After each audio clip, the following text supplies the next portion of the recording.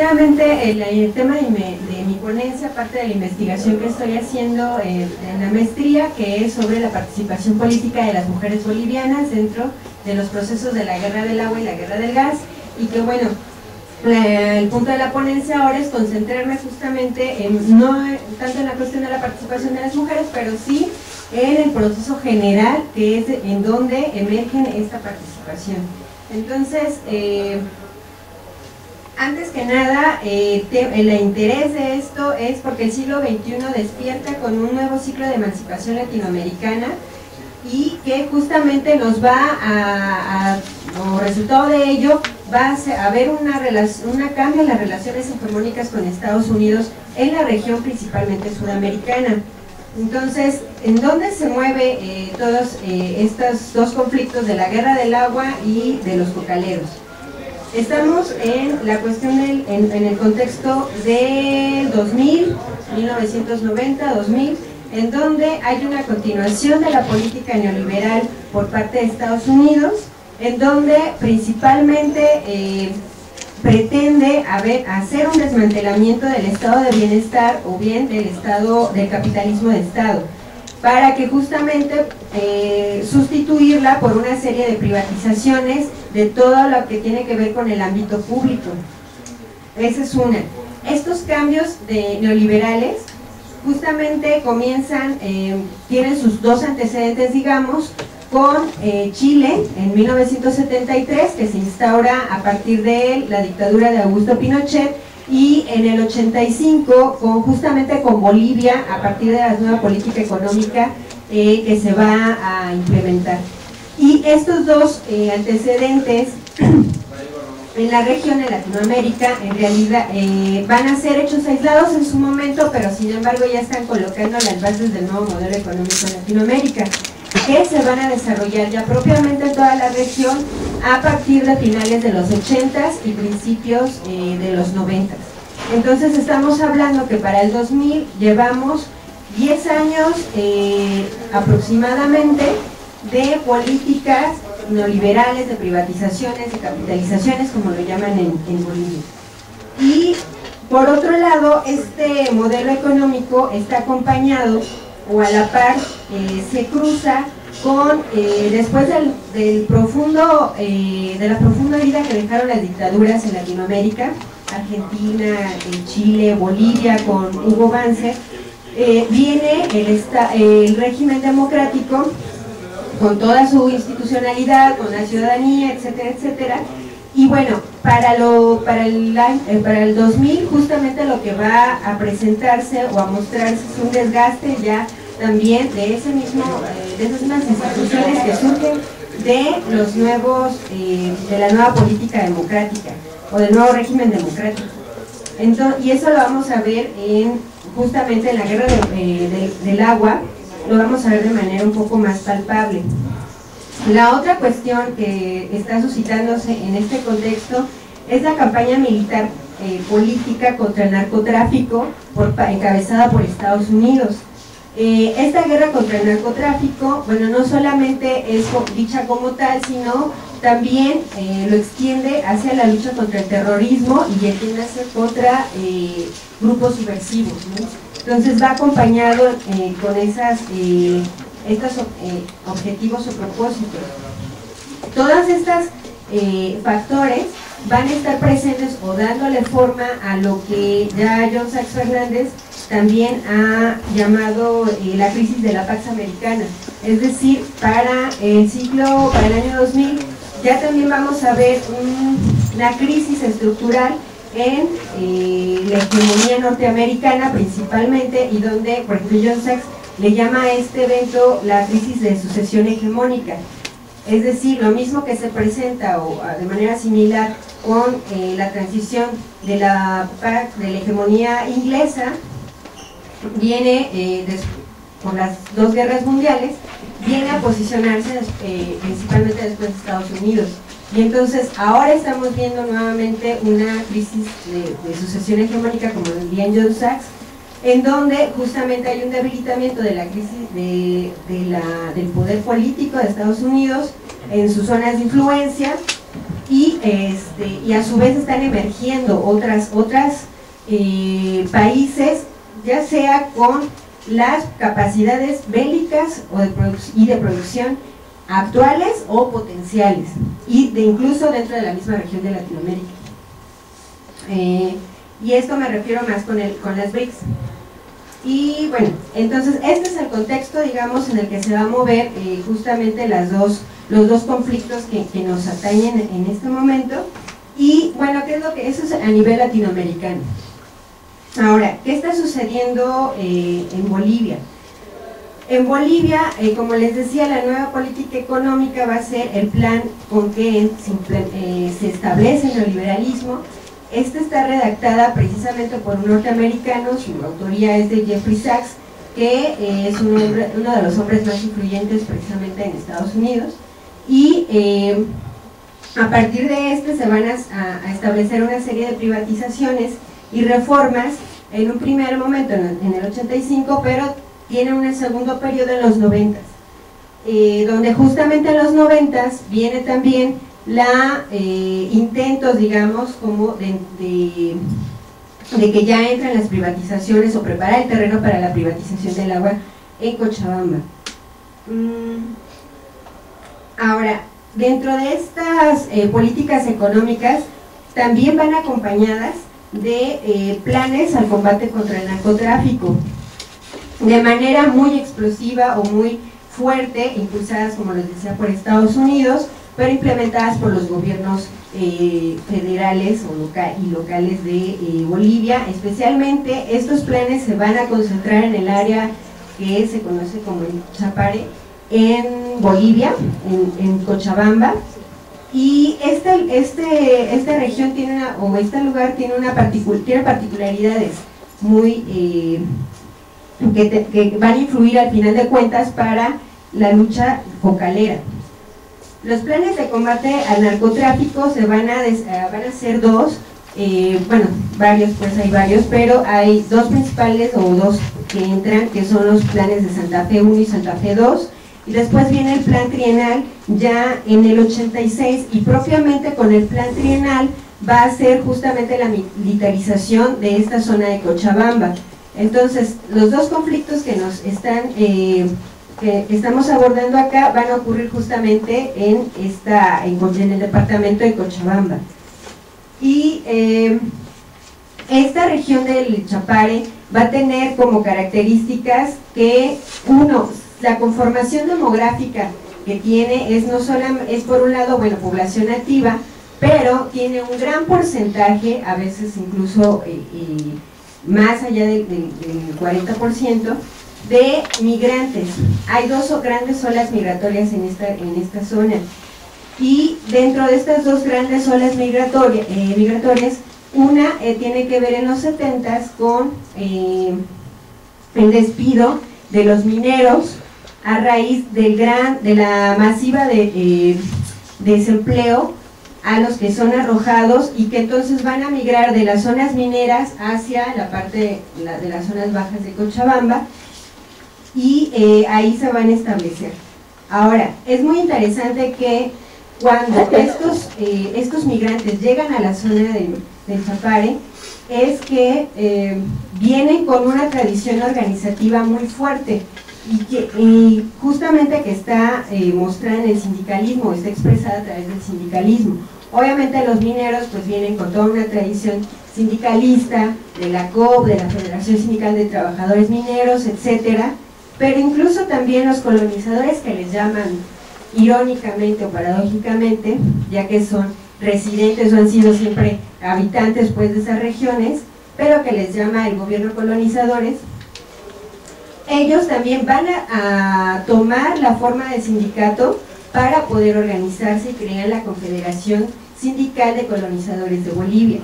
Entonces, a partir de estos eh, dos referentes organizativos, van a desarrollar justamente sus colonias, van a desarrollar la distribución del territorio y además eh, y de la producción de la hoja de coca. Entonces, eh, con una concepción de la tierra, no como desde la propiedad privada, eh, sino como de esa tierra que colectiva, digamos, que eh, va, va, a tener que producirse y que si no la trabajas, entonces esos se declaran como abandonados y entonces tienen que darle paso a otros que sí lleguen a, a trabajar esas tierras. Al final de cuentas, ahí hay también una importancia en el asunto de la de cómo se concibe eh, la relación del,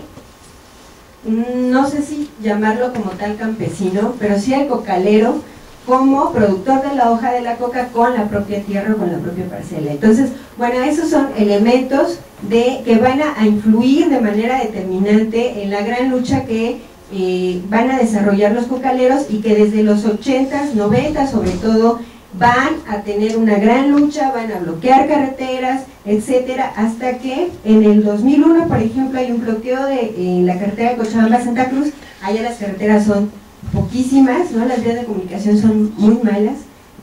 y justamente lo que haces en estos bloqueos, pues eh, vas a eh, ahogar las, eh, la economía dentro de, la ciudad de La Paz, en final de cuentas, porque Cochabamba cabe destacar que es el corazón, o casi el corazón de Bolivia, y Bolivia a su vez es el corazón de Latinoamérica geográficamente, este, sí, geográficamente. Entonces, eh, en el 2002 esta lucha también, después de eh, Bocalera,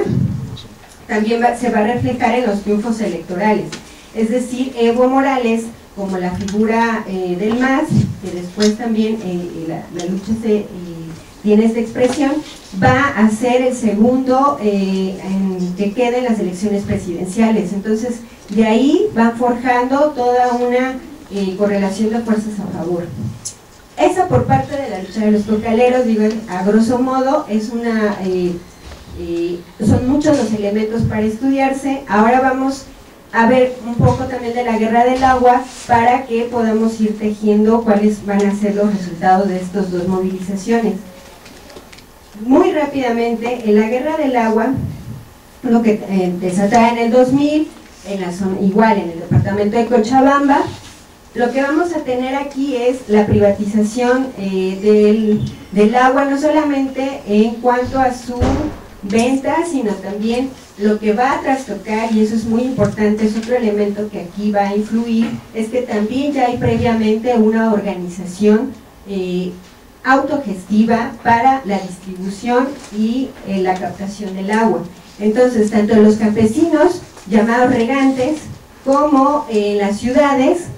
la gente se va a organizar en cooperativas, en diferentes formas eh, autogestionarias para poder tener a su alcance el agua, que es uno de los recursos que escasea muchísimo en, el departamento. Entonces, esta concepción obviamente es desde el bienestar colectivo, etcétera, etcétera. ¿no? Entonces, eh, lo que vamos a tener aquí es un triángulo hegemónico que, que le hice llamar porque eh, refiriéndome a quiénes son los actores y las relaciones que se establecen por parte de la hegemonía para poder implementar este, estos, estos planes. Entonces, en ese triángulo hegemónico encontramos primero al Estado, al Estado que es el combate, en esto se está expresando el combate del Estado, eh, del capitalismo de Estado con el Estado neoliberal. Entonces, hay una pretensión del desmantelamiento, se dice que hay una eh, se interpreta como hay una desmantelación del Estado nada más por parte del neoliberalismo, pero hay que hacer la precisión que no solamente es cualquier Estado, más bien, o sea, el Estado perdura y es, para el neoliberalismo administra finalmente, entonces los conflictos políticos, sino más bien es desmantelar el capitalismo eh, desde el Estado y eh, en ese sentido el gobierno de Hugo Banzer eh, va a jugar aquí un papel sumamente importante ya que es el que va a establecer todas las garantías jurídicas para que el corporativo, en este caso Bechtel, sea el que se apropie del agua. También, eh, no solamente el gobierno federal en Bolivia, sino también los gobiernos locales. En, justamente en ese tiempo, en el 2000, quien estaba al frente del departamento, perdón, del municipio, es Manfred Villa, que eh, él es un de carrera militar, entrenado en la Escuela de las Américas, y que en los, en los, 80, 85, 86 deja un poco, descansa un poco la, el ejercicio militar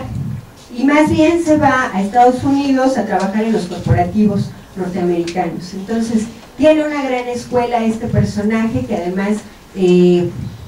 ha causado como a, eh, mucho eh, combatividad pues hacia el, hacia el movimiento social y entonces él es también el que va a facilitar que la,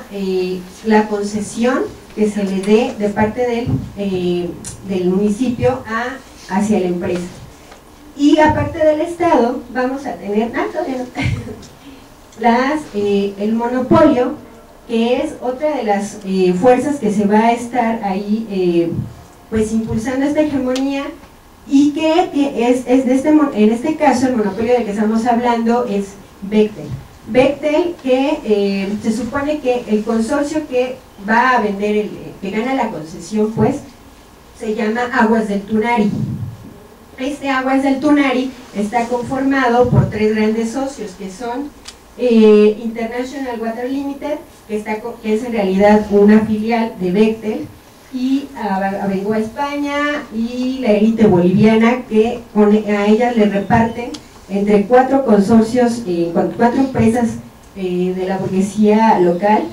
van a repartirle justamente también el, agua. Entonces, esta esta alianza es importante para que la, el monopolio, el capital eh, transnacional pueda, se alía con la burguesía local para que pueda implementar estos planes. Y por el otro lado están las instituciones financieras que son las que van a, eh, a presionar al gobierno federal para que a su vez eh, con el asunto de la deuda él le otorgue la concesión al monopolio y al final de cuentas en ese triángulo se va quedando el capital y va desarrollando el modelo extractivista. Entonces, bueno, eso eh, muy a grandes rasgos, trataré de irme más rápido por el tiempo y eh, bueno, ante esta, guerra, eh, esta privatización del agua, pues los cochabambinos van a responder con una gran fuerza, no solamente con la Federación de Regantes, sino también con la Coordinadora del Agua y de la Vida, y que en abril eh, toman eh, tanto la planta de tratamientos de aguas del Tunari, es decir, manifiestan un poder destituyente importante y además van a, lograr uno que se, que se le quita la concesión a aguas del Tunari y también que se legisle la parte de la autogestión que ellos ya venían haciendo años atrás. Bueno, todos estos, eh, tanto respuestas a dos grandes planes de parte de la hegemonía estadounidense, lo que nos va a lograr al menos eh, es, uno, acentúa la pérdida del control económico, político y militar de Estados Unidos en la zona andina y del conjunto de Sudamérica, y esto eh, a su vez contribuye al proceso de la crisis transicional hegemónica que hablábamos en un principio. Dos, sienta la experiencia y un golpe importante para el derrocamiento del neoliberalismo estadounidense a través de la derrota de uno de los grandes monopolios como es Bechtel. Bechtel no solamente, eh, bueno, más bien Bechtel es un monopolio en tanto está, eh, tiene sus empresas tanto a nivel de telecomunicaciones, a nivel de recursos energéticos y que además estuvo involucrado también en la reconstrucción de Irak. Entonces, estamos hablando de un monopolio sumamente importante para Estados Unidos, que también ha tenido eh, funcionarios, de sus propios funcionarios o, empleados han sido parte del gobierno de la Casa Blanca. Entonces, el, de hecho que se derroque a Bechtel o que se logre sacar, que los cochabambinos logren derrocar a Bechtel, sienta ese golpe al neoliberalismo estadounidense. Eh, y a su vez fortalece la acumulación de experiencia política y organizativa del pueblo boliviano que en el 2003 esta fuerza destituyente hacia la corporación finalmente se expresa en la caída de Gonzalo Sánchez de Lozada, como también otro de los agentes del eh, de la hegemonía estadounidense. Y entonces con esto, eh, eh, estos dos ejemplos, estas dos grandes experiencias del pueblo cochabambino, me recuerda, y quisiera cerrar con esta frase, eh, la experiencia que hubo con la guerra de Vietnam. Howard Zinn, en su libro La otra historia de Estados Unidos, nos dice, entre 1964 y 1972, la nación más rica y poderosa de la historia del mundo hizo un esfuerzo militar máximo recurriendo a todo menos a la bomba atómica para derrotar a un movimiento nacionalista revolucionario en un diminuto país de campesinos y fracasó. Cuando Estados Unidos luchó en Vietnam, fue una confrontación entre tecnología moderna organizada y seres humanos organizados, y vencieron los seres humanos. Entonces, esto también nos cuestiona que la capacidad militar que tenga el imperialismo no necesariamente nos eh, tiene que confluir o tiene que eh, relacionarse con toda una política a nivel internacional y que esa está supeditada a la propia historia y conformación organizativa de los pueblos organizados. Gracias.